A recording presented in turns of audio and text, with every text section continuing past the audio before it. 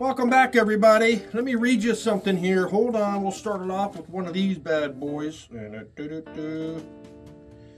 Wisdom teeth serve no purpose. They're, they're left over from hundreds of thousands of years ago as early humans' brains grew bigger. It reduced space in the mouth, crowding it, crowding out this third set of molars.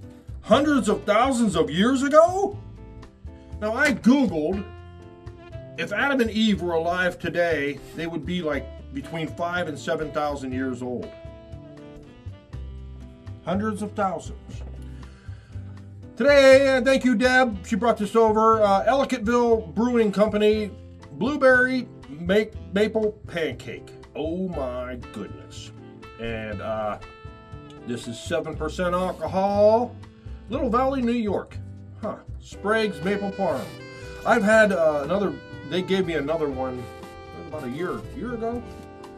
It was uh, Saugatuck Brewing, and it was a, a, big old lumberjack on the front of that there label.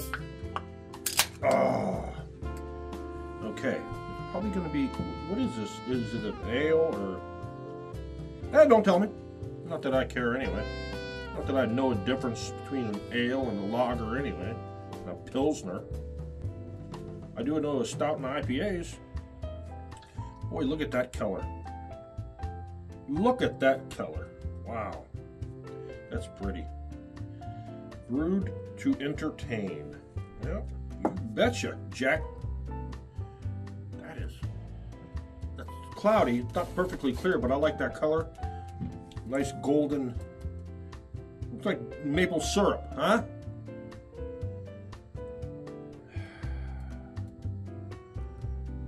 Doesn't smell. I can smell a little bit of blueberries in there. Yeah. Let's see if it's any better than the other one. I don't remember what the other one tastes like.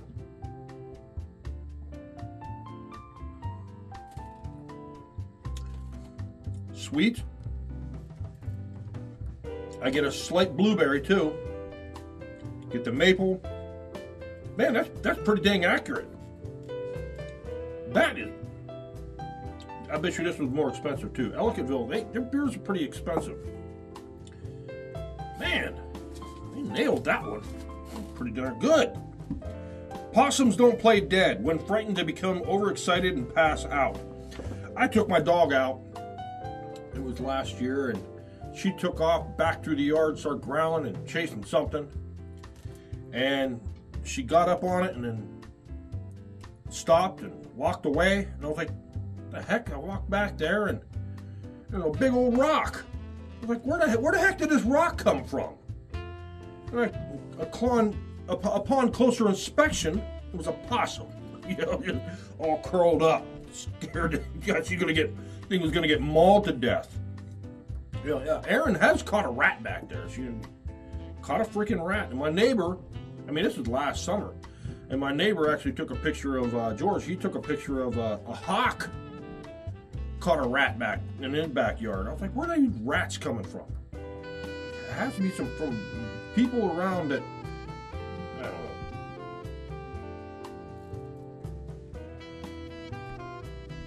It's a thicker beer. It's a thick beer.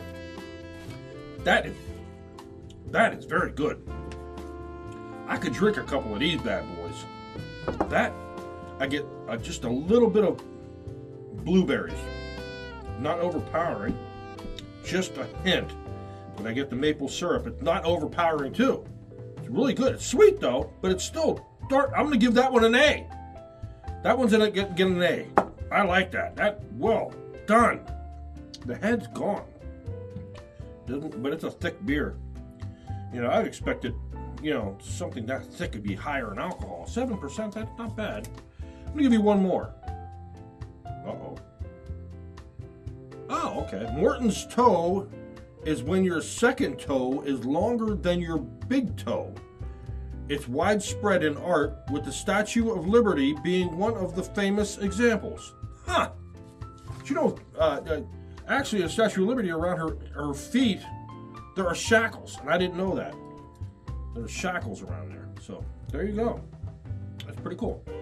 I guess uh, I guess I'm done. I give it, like I said, I give it this an A. I can I can I can drink a couple of these. Man, they're killing it with these beers, man. So I'll see you in the next one. Maybe.